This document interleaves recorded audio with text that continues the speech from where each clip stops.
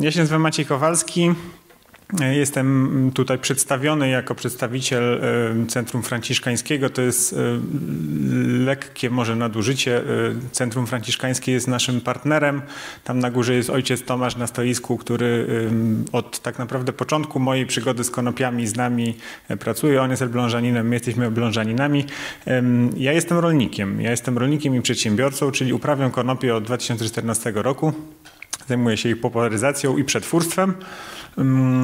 I e, postaram się opowiedzieć paradoksalnie o tym, co zrobić, żeby nie musieć kupować nic od nas, ani od nikogo innego.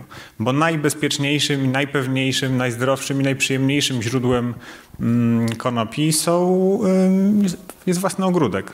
E, I to nie trzeba posiadać e, żadnego statusu rolnika, być rolnikiem, nie mieć nie wiadomo ile ziemi. To można w doniczce na balkonie, na parapecie czy, czy właśnie na grządce domowej zrobić. E, postaram się w pół godziny bardzo pobieżnie opowiedzieć, jak można sobie to zrobić i po co. To znaczy, jak już, jak już ktoś się zdecyduje i taką roślinkę rzeczywiście. Dobra. W, w ogrodzie sobie wysieje, to co dalej z tym można zrobić, żeby ta druga część e, tematu, czyli w jaki sposób można wpłynąć na nasz, e, e, nasz stan zdrowia. Chciałbym w dwóch słowach, to już właściwie opowiedziałem, tak, że, że my jesteśmy tutaj o tej, tej kwestii, kto jest kto, że tak powiem. Natomiast chciałbym dwa słowa powiedzieć o historii konopi, może nie w jakiś encyklopedyczny czy podręcznikowy sposób, tylko żeby zapamiętać jedną prostą rzecz, to nie jest nic nowego. To jest coś, co na polskich ziemiach było od setek tysięcy lat e, i to nie są jakieś tam pojedyncze doniesienia, tylko tak naprawdę to jest akurat na zdjęciu moja babcia, lat 90 parę, urodzona na terytorium dzisiejszej Białorusi i mówi, jej mama uprawiała konopie. To jest absolutnie jakby normalna rzecz dla nich była. Oczywiście na sznurki, do karmienia inwentarza, e, na ziarno, do tłoczenia oleju zdrowego, ale też te zielone części roślin, czyli te kwiatki, one były w polskiej diecie. E, I tutaj bardzo mi się podobało poprzednie wystąpienie e, pani, która e, kilkukrotnie wskazywała na wpływ naszego samopoczucia na nasze zdrowie. Tak? Jeżeli pojawiła się na slajdzie informacja, 70% chorób czy wizyt u lekarza może bardziej bierze się z nierównowagi emocjonalnej, to tak naprawdę wpływ konopi na zdrowie, który w znakomitej części dotyczy właśnie sfery y, stresu, sfery samopoczucia, sfery y, dobrego snu i tak dalej, jest w stanie regulować ten, ten nasz poziom stresu. A w naszej diecie tak naprawdę tylko od kilkudziesięciu lat nie ma konopi. Nasze prababcie jadły te konopie prawie że codziennie, nawet jeżeli to były bardzo małe ilości i nie w jakiś taki skoncentrowany, świadomy sposób, że oto przyjmuję suplement diety z konopiami. Tego oczywiście nie było. W ogóle nie było suplementów diety, tak? Natomiast e, ta dieta była bogata w konopie. E, mamy chociażby u Sienkiewicza e, pół żartem wypowiedziane przez Zagłobę nawiązanie do oleum konopnego, które idzie do głowy i, i humor poprawia i, i, i, żart. To oczywiście było, mówię, pół żartem, natomiast to jest też kolejny dowód, jak jest, są stare wydania pana Tadeusza, to w Soplicowie naprzeciwko Pałacyku są pola konopi. To są, to są wszystko e, dowody na to, że to w naszej kulturze było od zawsze. To jest mapa z e, lat 50., która pokazuje dwa główne ośrodki uprawy i ja mam przyjemność być tam z Elbląga, który rzeczywiście, jak zakładałem firmę w Elblągu, i z wójtową rozmawiałem i chciałem mi powiedzieć, że no będziemy konopie przetwarzać, czy nie ma nic przeciwko ze względu na potencjalne jakieś skojarzenia z marihuaną, z czymś, a ona, ale dlaczego żeby miała? Ja się za, za dziecka wchowanego bawiłam w konopiach. Było to czymś naturalnym i, i, i mile widzianym.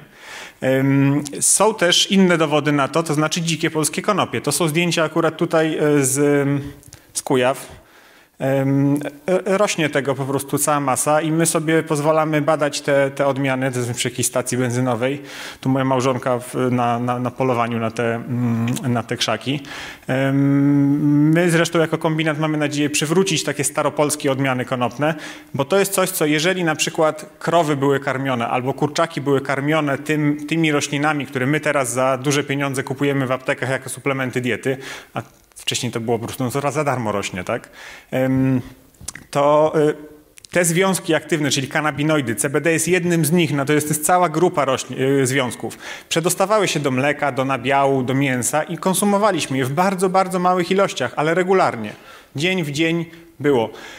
W ostatnim czasie naukowcy zdiagnozowali taki, taki syndrom, czy, czy stan, naukowcy lubią diagnozować nowe syndromy i je nazywać swoimi nazwiskami, jak niedobór endokanabinoidów. Kanabinoidy od kanabis to są te związki właśnie w konopiach, natomiast my mamy w sobie endokanabinoidy. Tak samo jak są endorfiny i, i morfina, to to są jakby powiedzmy czy roślinne, czy wewnętrzne związki. Endokanabinoidy są między innymi w mleku matki. To one odpowiadają między innymi za, ten, za tą błogość, którą, którą niemowlę odczuwa po, po konsumpcji mleka e, matczynego. I jeżeli pewne niedo, nierównowagi w tym układzie endokanabinoidowym się pojawiają w naszym organizmie, wtedy wy, wychodzą wszelkiego rodzaju e, zaburzenia, czy to są na tle neurologicznym, czy na tle nerwowym. E, to jest zdjęcie z Bolonii, która była w połowie XIX wieku takim stolicą światową konopi, czy przynajmniej europejską. I na jednym z portyków tam jest taki napis Cannabis Protetto.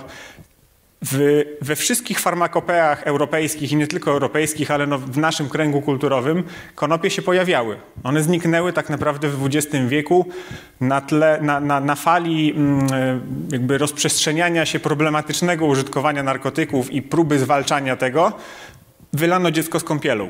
Czyli chcąc y, walczyć ze złymi przejawami stosowania konopi, E, wyrugowano wszystkie, włącznie z tymi dobrymi, czy to na cele tekstylne tak naprawdę nawet konopie zniknęły, e, czy na cele właśnie mm, takie około farmaceutyczne. Ja, ja, staram się unikać tego twierdzenia, że to są leki, że to są, e, bo, bo czasem moi koledzy, koleżanki z branży potrafią litanie całą tutaj na śladzie, by się znalazło 7 tysięcy chorób, które te konopie leczą. No to jest lekkie nadużycie. One są w stanie wpłynąć na nasze samopoczucie, na funkcjonowanie naszego organizmu, tak żeby nasz organizm sam naturalnie był w stanie walczyć z przeciwnościami rozmaitymi. E, I teraz szybciutko, jak, e, jak się zabrać do tej, e, do tej uprawy. Bo tak jak powiedziałem, jest to rzecz absolutnie banalna do zrobienia samodzielnie w domu. E, nie będę tutaj wchodzić w szczegóły formalne, natomiast jest to, jest to rzecz regulowana, trzeba złożyć wniosek. Taki wniosek, złożenie go kosztuje 30 zł, do, do, wcześniej do gminy, teraz do Ośrodka Wsparcia Rolnictwa. Jakby ktoś był zainteresowany, to u nas na stronie kombinatu konopnego jest szczegółowa instrukcja. No i oczywiście trzeba, ja tak sobie pozwolę te, te zdjęcia, bo tutaj na pół godziny mam 50 slajdów, to są bardziej obrazki, bo roślina jest tak miła i przyjemna, że, że oko cieszy. Yy. Wysiewamy sobie to w dowolnym tak naprawdę układzie. Ja to jest zdjęcie ode mnie, od mojej małżonki z ogródka. Na grządce, zaraz obok pomidorów i dyni sobie rosną.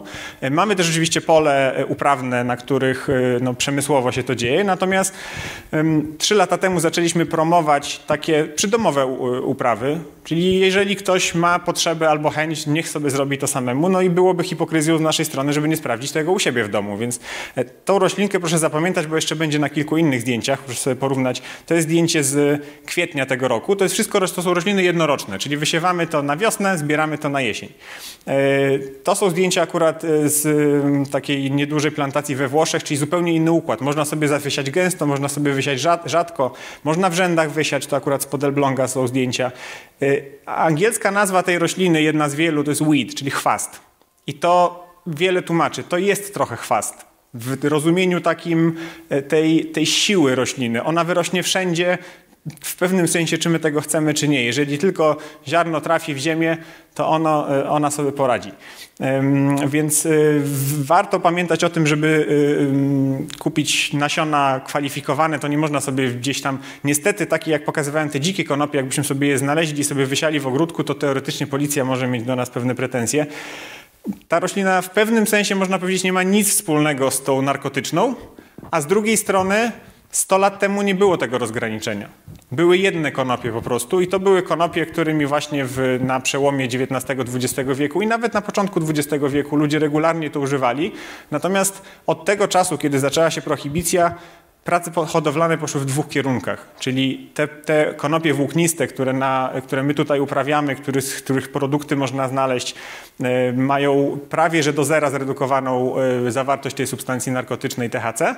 Natomiast w tym samym czasie te konopie, które były używane, są używane do celów e, rekreacyjnych jako używka, no to tam ta zawartość jest coraz wyższa. Natomiast to jest troszeczkę tak jak z pieskiem. No był sobie kiedyś wilczur, i od niego pojawił się jamnik, od niego pojawił się Rottweiler, więc trochę na tej samej zasadzie my, no, my mamy te jamniki, powiedzmy. Y, nie ma jakichś szczególnych wymagań glebowych. Nie będę tutaj wchodzić w poradnik ogrodnika, natomiast jakby się tego nie wysiało, to to wyrośnie. E, tutaj zdjęcie akurat w doniczce, e, w naturalny sposób, a tutaj pokazane też, wszędzie to wyrośnie. Tak? To jest w bruku, w piasku e, rośliny. U mnie pod domem po prostu te nasiona już są wszędzie, więc nawet jak nie sieje, to wyrastają. I w samej uprawie roślina jest bardzo prosta. Nie da się tego zepsuć. Tak samo jak na etapie siewu się nie da tego zepsuć. Są momenty w czerwcu, kiedy roślina rośnie 10 cm dziennie.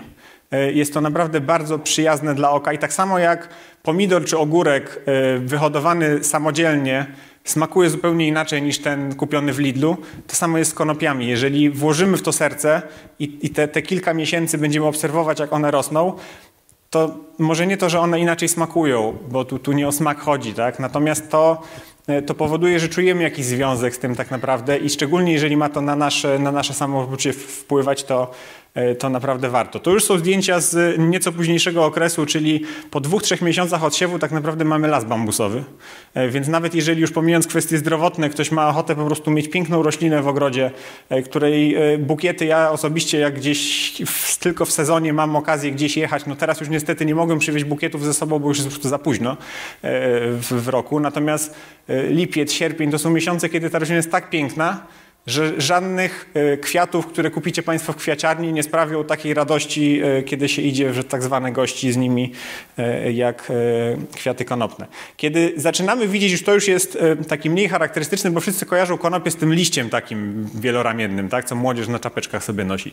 Natomiast tak naprawdę to jest ta część, którą konsumujemy w celach prozdrowotnych. To jest kwiatostan. Czyli ta na górze, to oczywiście gdyby to była ta odmiana narkotyczna, to to byłaby marihuana, Natomiast w naszych e, to są po prostu kwiatki konopi. Kwiat to nie jest tak jak kwiat róży czy tulipan, że ma płatki i taki ładny, tylko to jest kwiatostan konopi. E, a tak wygląda po 3-4 miesiącach plantacja. Moja małżonka nie jest jakaś szczególnie niska, jest, że tak powiem, statystycznego wzrostu. Czterometrowe rośliny to jest rzecz e, normalna. Gdyby Państwo chcieli jednak w ogródku, znaczy w domu to trzymać, to proszę się nie obawiać, ona się dostosuje do wielkości doniczki. Tutaj oczywiście rosła na nieograniczonej ilości przestrzeni.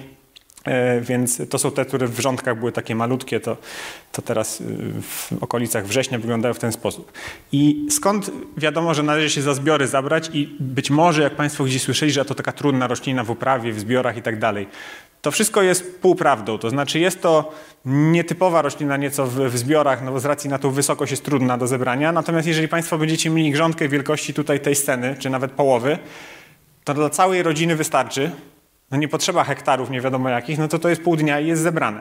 Jak widzimy, że ten, ten kwiatostan robi się taki mm, nabrzmiały powiedzmy, to już czas y, ją zbierać. To jest ta roślinka, która była na wcześniejszych zdjęciach na grządce. Trzy miesiące później, 4,5 metra y, wyrosło. Y, I z takiej roślinki zbieramy kilkaset gramów suszu. Ona mnie nie kosztowała nic absolutnie. No te 30 zł do gminy trzeba było zapłacić, żeby urzędnik się cieszył. Raz, jednorazowo, nawet nie co roku. I tu jest zebrane kilkaset gramów suszu a jak pójdzie się na stoisko i kupi taki ten, to, to jeden gram potrafi kilkanaście złotych kosztować. Więc tu już mamy materiał i mamy stuprocentową pewność, że nikt nas nie oszukał. A niestety, i mówię to z wielką przykrością, w tej branży jest mnóstwo oszustów. Bo rzecz się zrobiła modna, na rzeczy można dobrze zarobić, no więc przyciąga to wszelkiej maści ludzi, którzy pięć lat wcześniej zajmowali się a to przemytem papierosów, a to jakimś bimbrem, a to teraz nagle w konopie wejdą. Ja osobiście, jak wcześniejszą firmę kiedyś prowadziłem i, i zostałem z niej zwolniony, to założyłem tą firmę po to między innymi, żeby mieć pewne źródło surowca dla siebie samego, bo ja się bałem kupować rzeczy od, yy, od tak zwanego rynku, zwłaszcza, że konsument, klient nie bardzo ma możliwości weryfikacji tego. Oczywiście jak się poświęci temu czas i pieniądze, to można przebadać wszystko, ale można też sobie wysiać i zebrać to za pół darmo. Tu e, łodyga to jedyne urządzenie, które trzeba było mieć, to dobrą piłę do tego, bo to taka łodyga jak małe drzewko. E, o, to, to, jest ta, to jest właśnie ta roślinka już po oberwaniu liści, więc wszystko można absolutnie ręcznie zrobić. Żadnych skomplikowanych zabiegów jest to absolutnie bezpieczne. E, tutaj trochę może już bardziej jako ciekawostka to nasza plantacja też we Włoszech zupełnie inaczej widać, to wygląda tak, ale na, na naszym słońcu to może, może niekoniecznie. Więc y, y, połowę czasu mamy, więc akurat zamknę ten rozdział o tym, jak sobie to zrobić, a przejdziemy do tego po co. Tu będzie mniej klikania w slajdy, a więcej mówienia. E, takie cztery główne, wczoraj sobie przygotowywałem tą prezentację, to myślę, żeby w tym ograniczonym czasie e, zwrócić uwagę na cztery główne kierunki wykorzystania tego w domu. E, jedną najprostszą z nich są herbatki, czyli po prostu ten susz tak samo jak rumianek, miętę czy kwiat maliny, cokolwiek, możemy po prostu sobie zaparzyć jako herbatę ziołową. I tutaj ważna informacja, Prosta oczywiście rzecz do przygotowania, no bo zalewamy sobie taki susz, pijemy taką herbatkę. Natomiast kiedy mowa o CBD, o zaletach CBD i tak dalej, to warto pamiętać, że herbatka nie stanowi źródła CBD. Czyli są osoby, które po wypiciu takiej herbatki czują się dobrze, czują się zrelaksowane. Natomiast po pewnej części, jak się wypije kubek ciepłej wody z łyżeczką miodu i kroplą cytryny, to już się człowiek czuje dobrze, bo nam ciepło w brzuszku i nam jest dobrze. Więc ten rytuał herbatkowy sam z siebie jest ważny. E, druga rzecz, że tam pewien aromat, pewne terpeny mogą się przedostać. Natomiast CBD w herbatce się nie przedostanie do naszego organizmu. To też jest ściema, którą część firm chce Państwa karmić, że jak wypijemy herbatkę, to CBD dostarczymy. Nie. CBD jest rozpuszczalny w tłuszczu albo w alkoholu, nie w wodzie. Czyli najbardziej wartościową z punktu widzenia kanabinoidów, z punktu widzenia CBD w tej herbacie będą te fusy, które Państwo wyrzucą. Jeżeli chcecie kanabinoidy dostarczyć, to prędzej te fusy należy zjeść, a nie tą herbatkę. Co nie zmienia faktu, że jest to popularny produkt i bardzo e, przyjemny. No mówię, tak jak każda inna herbatka ziołowa, może mieć pewne takie delikatne e, działanie e, relaksujące. I zrobienie tego no, jest w zasadzie banalne, bo ten susz, tak jak sobie zbierzemy z tej roślinki, ewentualnie warto przetrzeć na jakimś grubym sicie, żeby ziarno oddzielić, no bo nie będziemy sobie z ziarna robić herbaty, bo nam rosół wyjdzie. E, zaparzamy i ja zazwyczaj nie lubię tego zalewać wrzątkiem, tylko taką lekko przestudzoną wodą już od, od wrzątku 60-80 stopni jest wtedy bardziej e, aromatyczna, bardziej przyjemna. Dwa następne mm, działy powiedzmy są najbardziej istotne jeśli chodzi o o stosowanie. E, my dzisiaj zleciliśmy, nie znam jeszcze niestety wyników, bo dzisiaj dosłownie w tej chwili dzieją się badania opinii publicznej, które zleciłem, żeby się dowiedzieć, ile Polaków używa tych produktów. Bo bardzo dużo się o tym mówi, ale tak naprawdę my sami nie wiemy, czy to są 2% czy 20% Polaków. E, na jakie dolegliwości, z jakich powodów po to sięgają. Za jakieś kilka dni będziemy mieć te wyniki, na pewno będziemy je publikować, bo jest to po prostu ciekawe. Nalewki są kategorią produktów konopnych, których praktycznie nie można kupić. E, być może się to zmieni w niedługim czasie, natomiast jest to coś, co można zrobić samemu, albo z suszu kupnego, albo z suszu własnoręcznie zebranego. E, tak jak powiedziałem, kanabinoidy się nie rozpuszczają w wodzie, natomiast w alkoholu, zwłaszcza wysokoprocentowym, jak najbardziej tak. Czyli w takim ogromnym uproszczeniu bierzemy sobie ten susz konopny, który wyhodowaliśmy sami własnoręcznie, mamy pewność, że tam nie ma żadnej chemii dosypanej, że tam nie ma żadnych przysłowiowych muchozoli, kryształów i innych syfów, które naprawdę niestety w tak zwanym towarze z ulicy się znajdują. Zalewamy to spirytusem, nie wódką. Wódka nie ma dostatecznego stężenia alkoholu. Musi być przynajmniej 70-80% alkoholu. Ja nie lubię pracować na czystym spirytusie z 95%, bo on tak szybko paruje, że człowiek może się upić od, od stania przy tym. A tu nie chodzi o konsumpcję alkoholu, tak? To ma być nalewka taka ziołowa, bardziej jak, jak krople jakieś żołądkowe. Więc rozcieńczam sobie ten alkohol do 80% i takim alkoholem należy zalać ten susz żeby, tu już może wchodzę w jakieś takie y, szczegóły techniczne, natomiast dobrze jest ten susz wcześniej wygrzać w wysokiej temperaturze, żeby go, że tak powiem, aktywować. Jakby ktoś byłby zainteresowany już szczegółami, to u nas na stronie wszystko można znaleźć, ja później na stoisku tam u ojca Tomasza też będę, będzie można podejść, porozmawiać. Natomiast na taki przygotowany odpowiednio susz, zalewamy go tym spirytusem, powiedzmy na 1 kg suszu dajemy 4-5 kg czy litry alkoholu i nie macerujemy tego nie wiadomo jak długo, bo nalewki takie jak znamy nalewki z owoców, czy jakieś takie typowo ziołowe, to miesiącami trzymamy, latami nawet z, tym, e, z tymi owocami, żeby jak najwięcej smaku przeszło. Konopie są obrzydliwe w smaku są koszmarnie niesmaczne. To jest tak gorzkie, że jeżeli Państwo zostawicie to na dłużej, to cały chlorofil, wszystko, cała ta gorycz przejdzie nam do tego alkoholu, a to, co, na czym nam zależy, czyli na CBD i wszystkich pozostałych kanabinoidach, one przechodzą w 15 minut do alkoholu. Czyli wrzucamy to, zalewamy spirytusem, wstrząsamy i przesiewamy normalnie na sitku. I to jest koniec pieśni. To jest nalewka yy, prozdrowotna z yy, konopi, z CBD, yy, Ile tam będzie kon konkretnie tego CBD, to oczywiście zależy od tego, ile tam tego słoneczka nam naświeciło, ile ten, te rośliny miały mm, składników pokarmowych.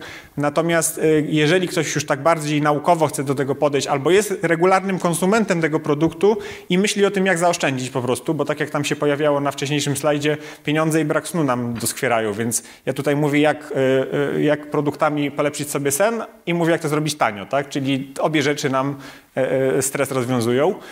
Można za stosunkowo niewielkie pieniądze zlecić analizę. Nawet nie u nas, po prostu są laboratoria, które to badają, żeby raz w sezonie zrobić sobie taki produkt, przebadać i wiedzieć, ile się tam tego CBD ma. Ważne, żeby takiego produktu nie rozcieńczać, to znaczy trzymać go w tym wysokoprocentowym alkoholu i tuż przed konsumpcją sobie to rozcieńczyć. No bo nikt nie będzie pić 80% alkoholu, bo mu prze, przełyk poparzy. Natomiast tak przygotowany produkt, powiedzmy łyżeczkę takiego e, alkoholu, rozcieńczamy sobie w szklance soku, czy wody, czy czymkolwiek, on taki piękny, mętny kolor złapie. I spożywamy i godzinę później jest nam miło, przyjemnie, przestaje nas boleć. Oczywiście mając y, 8,5 minuty, które mi pozostało, to ja nie będę teraz się rozwlekać na temat mechanizmów działania y, kanabinoidów, na temat układu endokanabinoidowego. Mamy w ogóle w organizmie takie coś. Czy ktoś lubi konopie, czy ich nie lubi, to układ endokanabinoidowy ma. Nawet jak nie jest człowiekiem, to go ma, bo wszystkie ssaki go mają. Y, przedostatnia kategoria, o której się najwięcej rozgadam, to jest najbardziej popularna kategoria produktów, czyli oleje CBD. E, tak tradycyjnie, chociaż ciężko mówić tradycyjnie w branży, która istnieje niecałe 10 lat. E, natomiast najpopularniejsze produkty na rynku to są ekstrakty alkoholowe, czyli coś takiego jak wcześniej mówiłem, zrobiona nalewka i odparowana, czyli ten spirytus wylatuje i zostają same te, ta taka coś jak pasta do butów trochę wygląda, rozcieńczone w oleju, e, albo ekstrakcja dwutlenkiem węgla w stanie nadkrytycznym, czyli w ogóle jeszcze bardziej kosmiczna technologia. Natomiast myśmy y, podeszli do tego, że jeżeli robimy coś tradycyjnego, coś, co ma być przystępne cenowo, to chcemy zastosować jak najprostszą technologię możliwą, czyli bez żadnego rozdzielania tego, co natura stworzyła w, w roślinie, tylko my robimy to troszeczkę na takiej samej zasadzie, jak ym, są takie oliwy smakowe, czyli weźmiemy oliwę i dodamy tam papryczkę, chili albo czosnek, wyj wyjmiemy ten czosnek, ale oliwa dalej ma smak czosnku. I my to samo robimy z konopiami. I to samo można zrobić w domu. Jedyna różnica będzie taka, że no od nas jak to wychodzi, to jest oczywiście wystandaryzowane i w przemysłowej skali zrobione. Natomiast, co niekoniecznie jest oczywiście zaletą, że w przemysłowej skali, tak, czy może ziemieślniczej bardziej, ale nie domowej. E, można tak samo jak z nalewkami zrobić to absolutnie samemu w domu. Czyli zebraliśmy sobie z tego krzaka, z tej jednej rośliny kilkaset gramów suszu konopnego. Wsadzamy go do piekarnika, żeby go trochę wygrzać i taki susz zalewamy olejem. Zwykłym olejem. My używamy oliwy, część osób używa oleju konopnego bądź lnianego, który jest bardzo dobrym olejem, ale też bardzo szybko psującym się. Więc jeżeli my mamy raz na rok sobie zrobić taki, taki surowiec z własnego ogródka, to lepiej użyć oleju, który ma długą żywotność. Nawet olej rzepakowy czy słonecznikowy są bardzo dobre oleje tak naprawdę. To, że są tanie, to nie znaczy, że są gorsze. Jeżeli z dobrego źródła weźmiemy taki olej, zalewamy tak 4-5 razy więcej oleju niż suszu wagowo, czyli na kilogram tego suszu damy powiedzmy 5-litrową bańkę oleju i w tym wypadku, w przeciwieństwie do tego jak z alkoholem, alkoholem, trzymamy to kilka dni. Bo to już nie jest tak, tak, tak szybka sytuacja jak z alkoholem, że to natychmiast przechodzi sobie do tego, do tego mm, oleju. Trzymamy to kilka dni i znowuż na sitko, odciśniemy to grawitacyjnie. Jak ktoś chce robić to przemysłowo, no to tam jakieś prasy trzeba, żeby to odcisnąć. Ale jak mamy surowiec za darmo, od siebie z ogródka, olej, no owszem, podrożał, ale to w, przy takim ujęciu to za, za 100 zł łącznych kosztów mamy tego oleju 3-4 litry to za tyle pieniędzy to kupimy buteleczkę 30 ml w najlepszym razie z, z tak zwanego sklepu. E, I teraz w, po co w ogóle nam to wszystko? E, dużo osób mówi o działaniu około onkologicznym, o działaniu około neurologicznym, czyli Moda na to wzięła się z materiału, który w CNN został wyemitowany w amerykańskiej telewizji na temat epilepsji. Na temat małej dziewczynki, której z lekooporną padaczką, której wszystko testowano i dopiero te konopie nienarkotyczne sprawiły, że jej te ataki zeszły. Natomiast ja jestem trochę ostrożny, jeśli chodzi o, mm, o takie twierdzenia okołomedyczne. Tak jak powiedziałem na początku, ja jestem rolnikiem, przedsiębiorcą, ja nie udaję lekarza. E, ja wiem, jak to zrobić w sposób bezpieczny i przystępny cenowo. Natomiast e, ten niewielki fragment społeczeństwa, który cierpi na e, no, takie trudne schorzenie jak padaczka czy stwardnienie rozsiane, po to są lekarze. a nie przedsiębiorcy. Ja, ja bardzo mm, sceptyczny jestem, kiedy przedstawiciel firmy mówi, że coś od kogoś wyleczy. No, to na Akademię Medyczną trzeba było pójść, a nie firmy zakładać. Natomiast tak jak na slajdzie przed chwilą widzieliśmy, 30% ludzi cierpi na, na stres. E, problemy z zasypianiem to tak naprawdę no, kto nie miał, tak? Kwestia bardziej częstotliwości i intensywności. I to są obszary, w których ten naturalny produkt jest nam w stanie pomóc. E, warto zwrócić uwagę, że jeżeli kupimy sobie produkt, który może się nazywać, że test CBD, no, trzy literki, chociaż ostatnio już poziom oszustwa doszedł do tego stopnia, że widziałem ostatnio produkt, który się nazywał e, CBD, witamina C, witamina B i witamina D. Nic nie miało wspólnego z konopiami. No, niestety tego typu zagrywki ludzie stosują. Jest też taka, taki trend w kierunku e, wyizolowanego CBD, czyli zamiast zjeść marchewkę, zjemy sobie tabletkę z witaminą A. Zamiast zjeść pomarańcze, to zjemy sobie tabletkę z witaminą C i zamiast zjeść konopie, to zjemy sobie wyizolowane CBD. Według mnie i według ludzi, którzy się tym zajmują, to nie ma żadnego sensu. To nie działa. Najzwyczajniej w świecie. Jeżeli natura w konopiach stworzyła setkę związków, a my wyjmiemy jeden i twierdzimy, że ta jedna nam pomoże, no powodzenia. Ja nie czuję się na siłach, żeby poprawiać naturę, więc tak zrobiony olej i znów, czy go kupicie od nas, czy od innych firm, które robią to w taki w 100% naturalny sposób, czy zrobicie to sami, działanie będzie takie samo. Każdy musi sobie dawkę dobrać, więc ja nie będę mówić o dawkowaniu z tego względu, że mm, naprawdę każdy organizm bardzo różnie na to reaguje i w świecie naukowym przyjęło się y, y, powoływać na metodę miareczkowania, czyli każdy sobie po prostu musi tą y, dawkę dobrać. Przy takim oleju samodzielnie zrobionym, który można i do sałatek stosować, i do czegokolwiek, to należałoby po prostu zjeść łyżeczkę, po godzinie, dwóch zobaczyć, jak się człowiek czuje i jeżeli mu to pomogło, to super. Jeżeli mu pomogło aż za bardzo, będzie senny, będzie jakiś skołowany, to na drugi raz wziąć dwa razy mniej. A jeżeli mu nie pomogło albo pomogło, ale no mogłoby być lepiej, to może spróbować po prostu z większą dawką. E, tak jak z każdą substancją naturalną e, nie należy przesadzać. Jeżeli ktoś zje za dużo gałki muszkatołowej, to już mu będzie w głowie kręcić. Jeżeli zje za dużo pietruszki, nie wiem czy Państwo wiedzą, ale w pietruszce jest amfetamina. E, bardzo, bardzo, bardzo mała. Jak zjadać na przykład 3 kilo pietruszki, no to będzie się źle czuł. Z tym jest tak samo. Jeżeli przedawkujemy cokolwiek, no to to wszystko może nam zaszkodzić, tak? Więc warto się pilnować, tak samo z na przykład jazdą samochodem. To nie jest coś, co można jakieś nie wiadomo jakiej ilości brać, bo może nam się w głowie lekko zakręcić. E, I druga ważna rzecz, od przyjęcia tego takiego naturalnego produktu do rozpoczęcia działania to jest godzina dwie.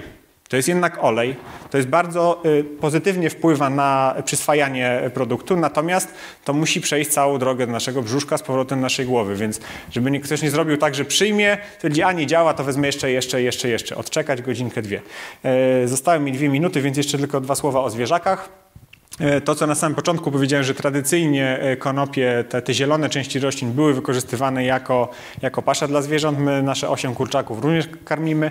E, natomiast też pojawiły się, i to mówię tak samo i u nas, jak i można samemu zrobić, produkty dla psów, koni, dla kotów i największe zainteresowanie, ja osobiście poza tymi kulczukami zwierząt nie mam, natomiast psiarze bardzo mocno chwalą sobie przy dwóch okazjach. Jedną są burze i fajerwerki, Czyli moment, kiedy, y, kiedy właściciele psów potrafią podawać nawet jakieś psychotropy dla zwierząt, tak żeby one się po prostu uspokoiły, bo się boją tych trzasków y, i, i hałasów. A druga sytuacja to są wizyty u weterynarzy.